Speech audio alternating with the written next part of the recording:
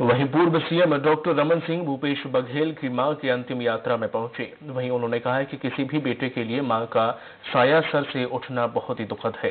इस दुख की घड़ी में हम सब बघेल परिवार के साथ हैं। माँ का साथ छोड़ जाना परिवार के लिए सबसे कठिन समय होता है। मैं उन्हें सादर नमन करता हूँ।